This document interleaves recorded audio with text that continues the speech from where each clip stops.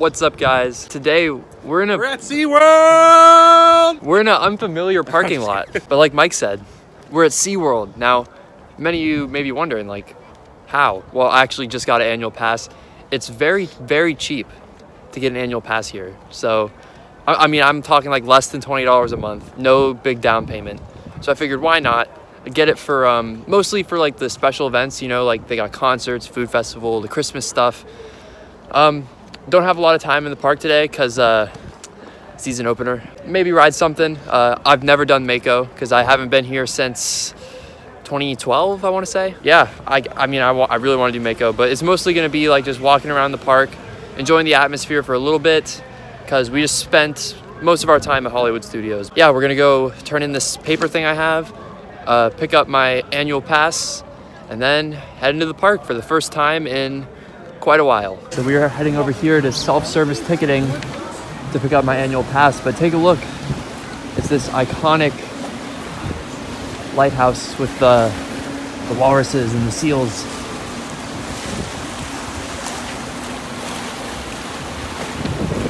All right, let's get my pass. All right, so we're officially in the park. Here's my AP. All right, let's go look around.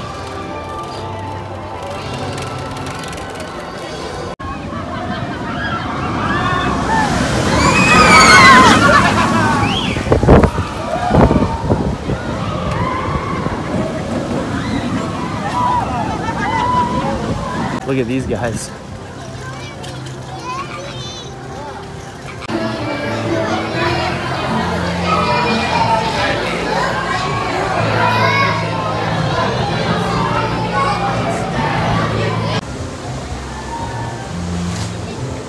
Hooray Marine Life.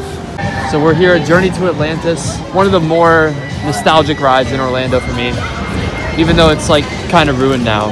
I haven't done it since it's been changed up. Not gonna do it today, but hopefully in the near future, we'll be able to get on it. So we are walking into Antarctica. I have never seen this land.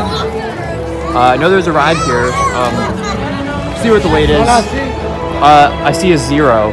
I don't know if that means it's down or if it's literally just a just a, a no weight right now. But yeah, we're in Antarctica, even though it doesn't really feel cold. But you know, it's fine.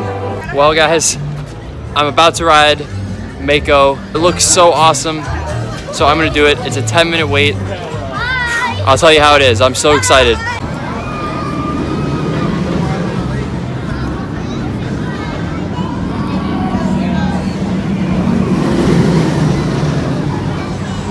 Okay, so I just got off Mako. Wow, it was so fun, so fast. The air time was crazy. Here we have your Infinity Falls construction. Can't really see anything but that crane, but I guess it's gonna be the tallest water drop or something, so that's that's pretty cool. I guess I'll have to come to the park when that opens, like knowing I'm gonna get soaked, but I'll probably try it at least once. We're passing by this uh, rope fun place. Very uh, nostalgic. Used to play in that all the time when I was a kid. I think now it probably wouldn't go well if I attempted to go in there. But like, there it is. So some more uh, SeaWorld nostalgia for you.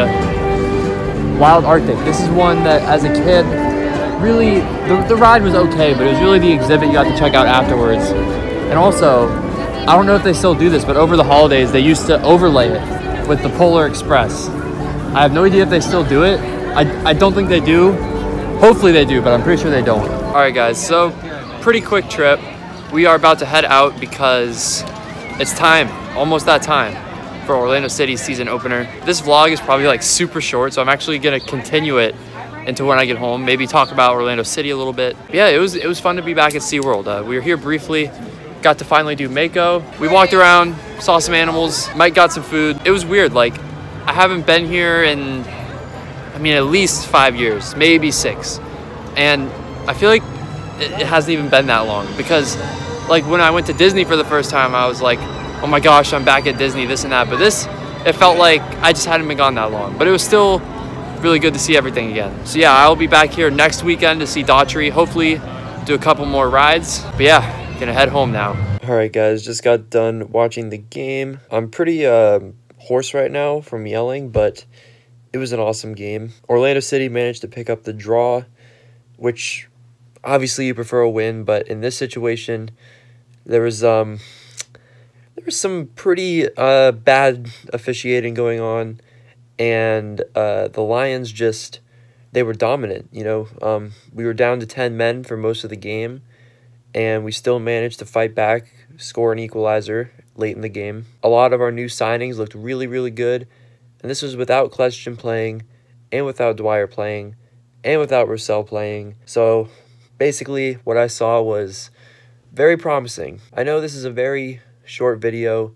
We were only in SeaWorld for maybe uh, like an hour and a half. Didn't really uh, have a lot to film. But like I said, I'll be back at SeaWorld next weekend to see Daughtry. I'm going to try to get there earlier so that I can do some more things in the park. So thank you guys for checking out this video. Be sure to subscribe for more theme parks, and I will see you guys in the next one.